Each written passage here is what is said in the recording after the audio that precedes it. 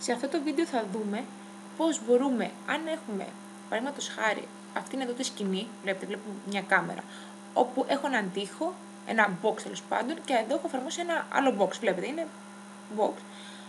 Και έχω βάλει την κάμερα και στην ουσία θέλω μέσα από αυτό το box, που μπορεί να είναι ένα παράθυρο οτιδήποτε, να αντανακλά ένα περιβάλλον. Λοιπόν, αν επιλέξω ε, με Ctrl A όλα μου τα αντικείμενα της σκηνής, σε λεπτό, Ctrl A, έχω επιλέξει όλα, και κάνω Hide Selection, όπως βλέπετε έχουν κρυφτεί τα πάντα. Αν ρεντάρω ε, τη σκηνή μου χωρίς αντικείμενα μέσα, render, θα δείτε ότι ε, έχω βάλει να, θα δούμε και πώς γίνεται, ε, να, να φαίνεται μια σκηνή, σαν περιβάλλον, σαν ο χώρος μου να έχει αυτό εδώ. Αν τώρα εγώ κάνω δεξί κλικ και κάνω unhide all, εδώ, αν τώρα ξαναρεντάρω, προφανώς δεν θα φαίνεται ο περιβάλλον μου χώρος γιατί δεν έχω κάπου μια τρύπα στον τοίχο για να φαίνεται.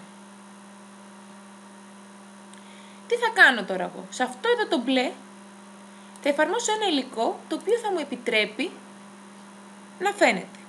Λοιπόν, ανοίγω το Material Editor και εδώ από τα στάνταρ υλικά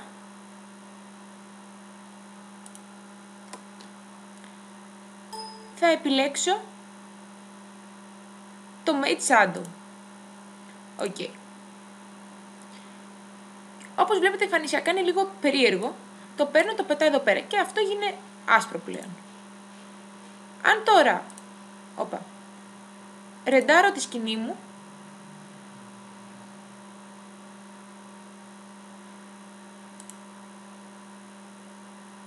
θα δείτε ότι μέσα από αυτό εδώ φαίνεται το πίσω. Τώρα, ό,τι είναι,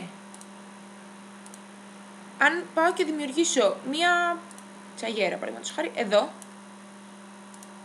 ό,τι είναι μπροστά από αυτό θα φαίνεται κανονικά.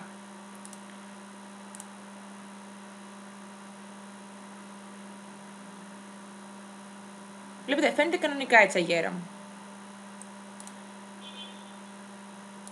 Ό,τι είναι πίσω όμως, δηλαδή αν από εδώ το πάω προς τα πίσω, δεν θα φαίνεται πλέον.